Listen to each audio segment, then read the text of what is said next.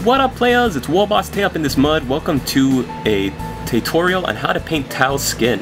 Now some people have been asking me for more Tau tutorials and um, I've just kind of been putting them off um, because I, have been trying to figure out this new paint range, trying to get the, the colors right for the you know the style of army that I want to paint.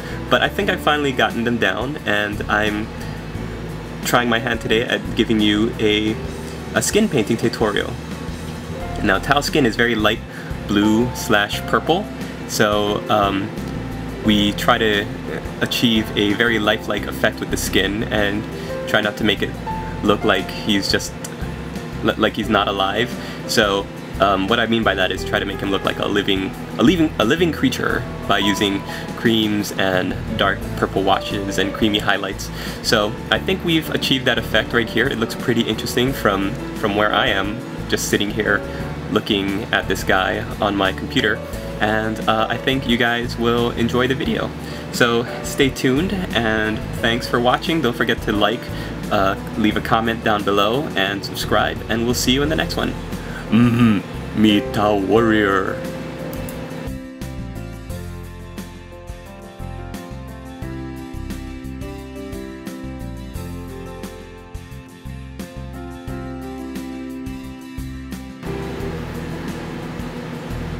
Okay, here's our model. Let's get started. First we're gonna make our um, wet palette. Got my clamshell, got a little piece of parchment paper here. We're just going to on.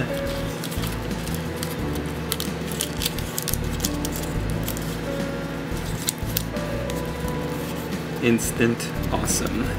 Alright, the first color we're to use is the Fang. Now this is, this technique is kind of a mixture of the one from the Painting Faces article in the old White Dwarf. This was a, a while back. So it's actually using the older colors. So what I'm having to do is, you know, work in the new color range. And along the way, I've changed some steps. Um, just because I found that the colors weren't exactly comparable, I guess you could say. If you have any Tau in your army with their skin showing, then this is how I would go about painting them.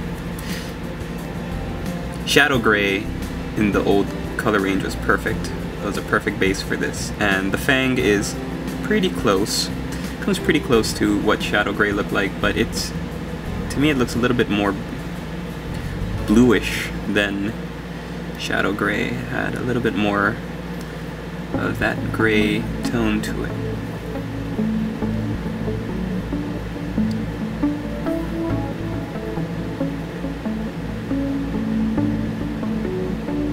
So nice easy coat.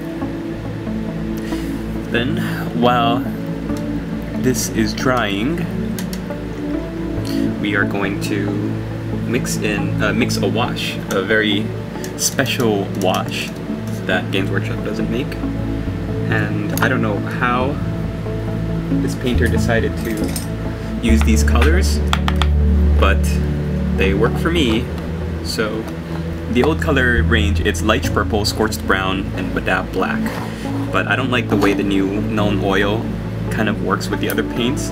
So I'm going to be using instead a very thin down Abaddon Black for, for the black. So in the new color range, the colors you're using are Abaddon Black, Dryad Bark, and Naggaroth Night. So we're gonna mix the three of those up, and I'll actually show it to you in our wet palette.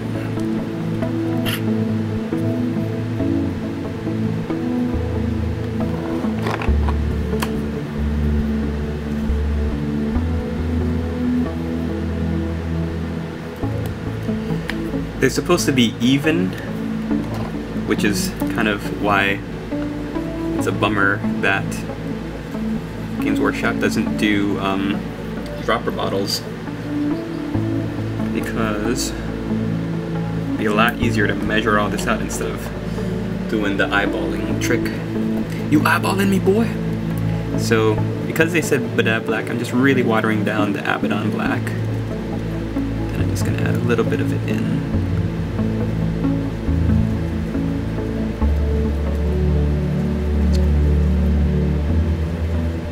Yeah, and we want to add enough water that it becomes very, very watery and wash-like.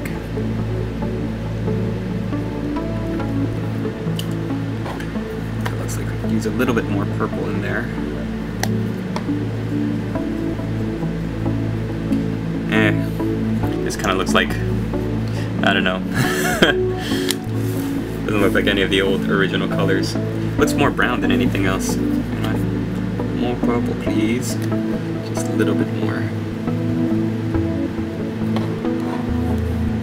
Alright, so now I'm going to wash the surface of the skin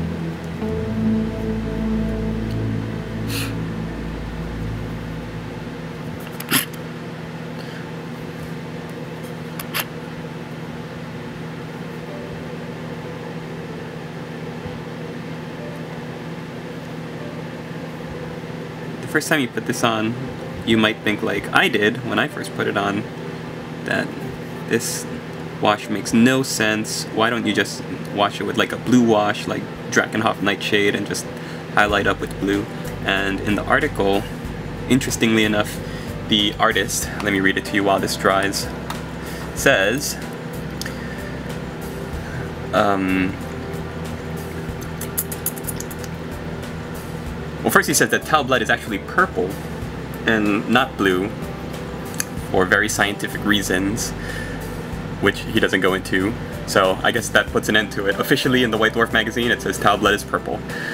With this in mind, the artist mixed uh, a washed a mix of purple over the skin to make it look more lifelike, and this adds good definition and tone to the skin, and then he says, with Tau being blue in skin tone, all of the different nuances with shade and highlight help emphasize the appearance that it is a living creature, and if it was just shaded with a darker blue and highlighted with a light blue, the skin would look unnatural and therefore unrealistic. So, there you have it. The more purplish brown looking wash accentuates the um, lifelike creature, or that it is a lifelike creature. The artist that I'm emulating with my Tau color scheme, if you're wondering, Bruno Rizzo, amazing, amazing Tau. Google Bruno Rizzo Tau, B-R-U-N-O-R-I-Z-Z-O, and oh my goodness, his Tau are just mind-blowingly awesome. And they all have this chipped desert color scheme. But none of his Tau heads have their little, these little ponytail braids. Um, and I'm thinking of cutting mine off too, just to, to match, because yeah, they, they do kind of look silly. And where do they go when they put their helmet on? There's no room for it.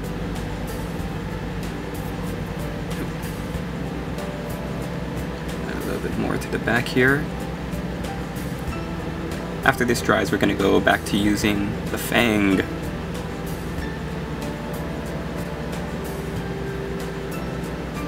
Yeah, and if you want to use the old colors, then the colors you'll need are Scorched Brown, Chaos Black, and Shadow, Shadow Gray. and then you're going to be adding Fortress Gray and uh, Commando Khaki.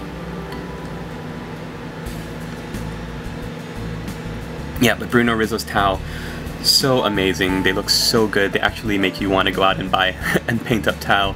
And if you haven't seen my old Tau tutorial on how to paint a Tau Fire Warrior, then um, you can check that out too. I'm going to be making a new one though on how to paint a Tau Fire Warrior with the helmet on.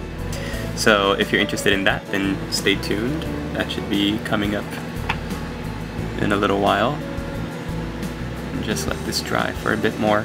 Yeah, but my, my Tau um, fluff, which I might as well get into while we're waiting, is that these are it's a cadre of fire warriors and um, just you know a whole army of Tau that is being sent to a world to hold it off against the incursions of the Empire, uh, the Imperium of Man, rather, and along the way, while they're traveling there, because they don't use.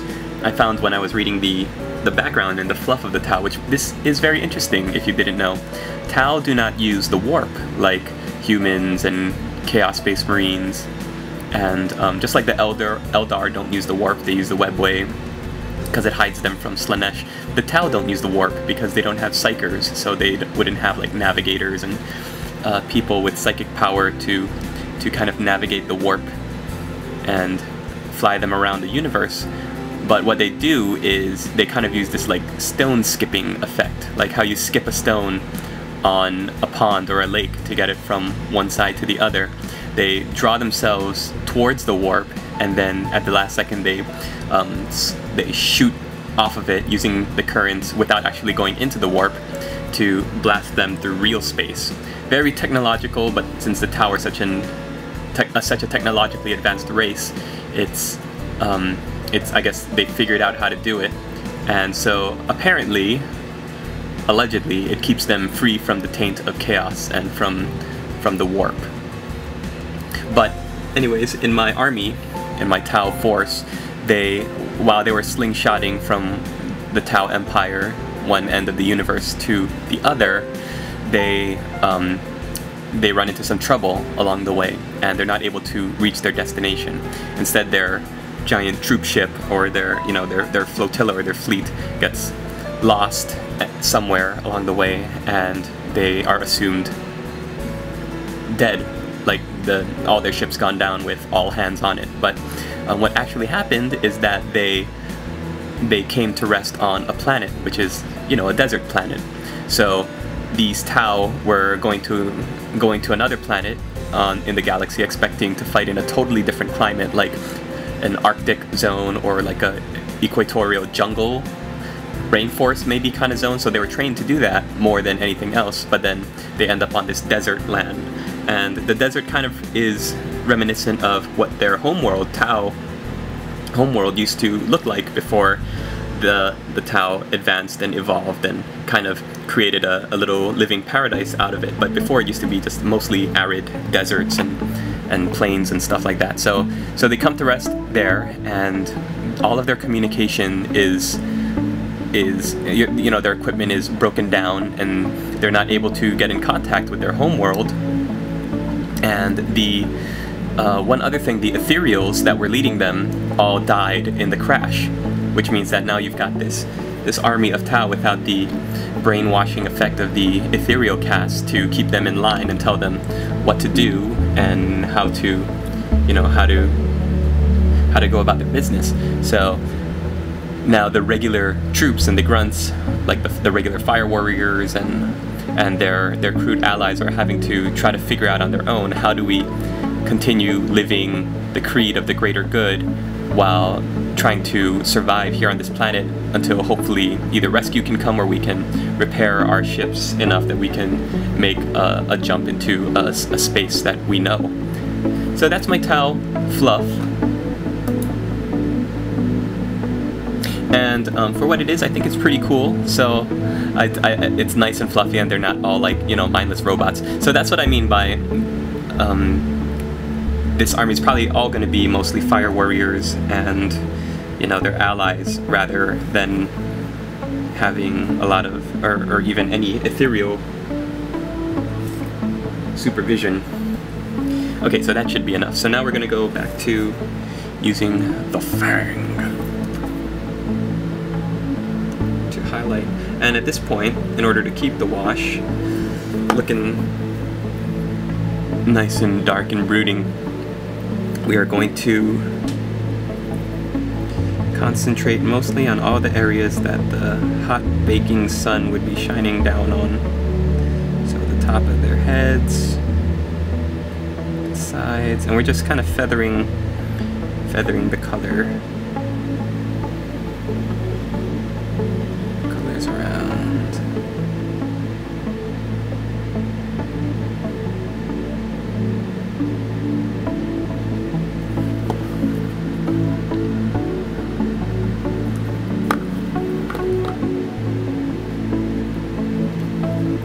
I mean, the whole reason that I came up with that fluff and not another color scheme or whatever is because I saw the, the Bruno Rizzo model models, their army, and, I just, oh, I thought it was so cool.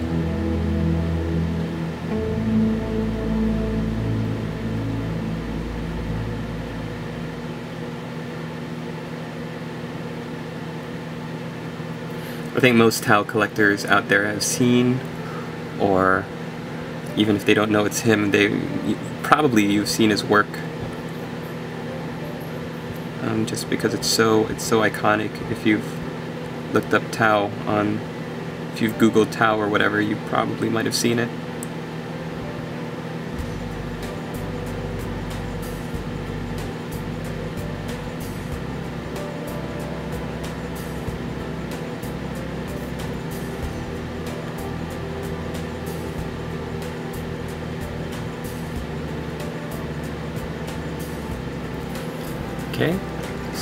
Now your Tau should look a little bit something like this. So now at this point we are going to start the actual highlighting and we're going to start with a mix of the Fang and it says Fortress Gray and Commando Khaki and the colors that I've found to substitute are Karak Stone and oh actually not Ulthuan Gray, that's too, too bright, Celestra Gray. So you should have your Fang color already on your wet palette. So all I'm doing is adding the other two colors to it.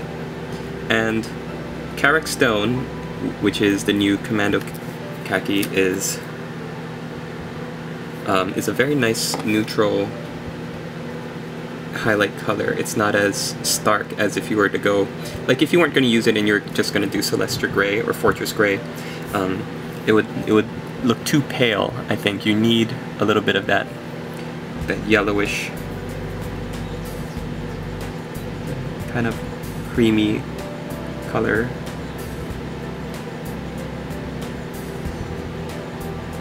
So now I'm sticking to the brow line, the brow ridge, and the, the cheekbones, rather than highlighting up everything from before. Then I'm going to turn my model around now and highlight up from the upper lip.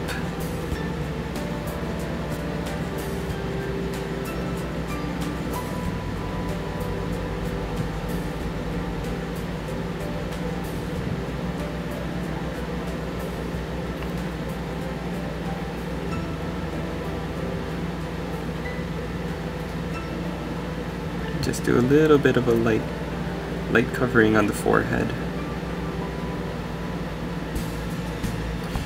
Right, so now your guy should look something like this. The next step, we're to add even more Karak stone to our mix until you have almost a completely Karak stone mixture with a little bit of gray to it.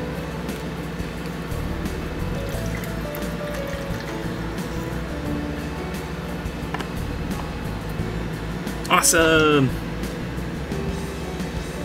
Just checked my my phone has has an eBay application and I I won some things that I was bidding on. Woo! Okay. So we're just repeating what we just did, but we're being even more careful to just do a fine line on the different areas.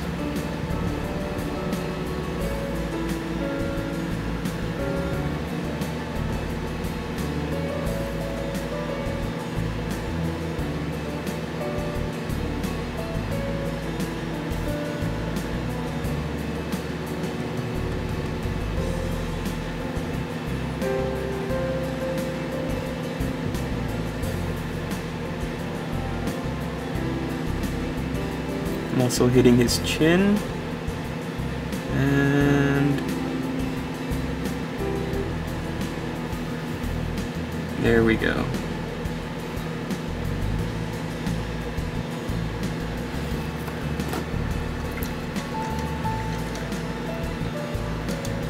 So at this point, your guy's pretty much done, but um, the the article says to now do a final highlight of Skull White. I think Skull White is a little too bright, so I'm going to use Ulthuan Gray, and I'm actually not going to use just Ulthuan Gray, I'm going to mix it into my Karak Stone highlight. So now I have a kind of creamy, cream colored slash gray, really, really light gray mix.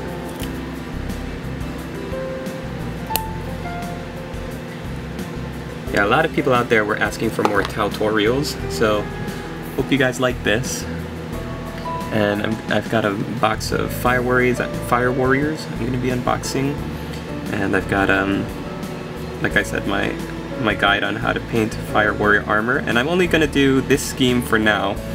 Uh, somebody asked me for a Bork'an color scheme, and um, I might do that later. I'm having to work through all the colors because there aren't really any guides with the new color range on how to do the alternate color schemes, but yeah, they are interesting, those other various worlds that the Tau come from, or that the Tau have settled, I mean. So I'm gonna try as best as I can to get to them. Alright, and there you have it. You have a Tau that looks like he's been he's been out there in the wilds, roughing it. And let's see if we can get a good focus on his face there. I, I actually don't paint the eyes in this article. If, if you've re read the article or seen the article, you were you would be amazed by how crazy uh, small the eyes are, and they're just like little red slits, and you can't even really see it. So I don't know how they painted it on their test model, but I, I, I, just usually like leave this model like this. If you found that your highlights were a little bit too bright and stark, you can just go back with your wash, the wash that we made, and just paint right, paint it right back over, or thin it down even more, and use it as a glaze for your model to cover the um, cover the skin and tone down the colors. But I kind of like this stark contrast to the to the skin. So here's a little turn. Oh, it actually might be a little too stark now that I see it blown up on my computer screen. Hmm. Maybe we'll do just a... Oh, I don't know. I don't know. I don't want to ruin what I did. Why not? Let's be adventurous. We'll just kind of stick to the shadows here. There we go, that's fine. That'll do, pig. Just spread it out. Yeah, if you put enough water in it, then it really just becomes a glaze and doesn't cover up your, you know, your paint job. There. So, thanks for watching everybody. Hope you enjoyed this, especially all you Tau enthusiasts out there. Stay tuned for more tutorials, unboxings, reviews, and all that. And don't forget to check out Project One Gaming. I just watched a video on his Necron army. He's almost up to 100 subscribers and likes on, on Facebook and YouTube. So keep subscribing, keep liking his video, and um, he can he's going to throw in that 6th edition rule book and set of I think psychic cards. Is that right? I don't remember, but it's just it's, there's so much stuff he's throwing into his his uh, free Necron army deal for August if you're the lucky winner. And all you got to do to get all that extra stuff is make sure that he gets enough subscriptions and likes. So check that out and uh, stay tuned for the end of the video when I'll be posting up my uh, the barcode that you can scan if you want a 20% off commission job off of his already crazy competitively cheap priced deals. And yeah, go ahead and support him and stay tuned for more on my channel. Thanks a lot for watching guys and we'll see you later.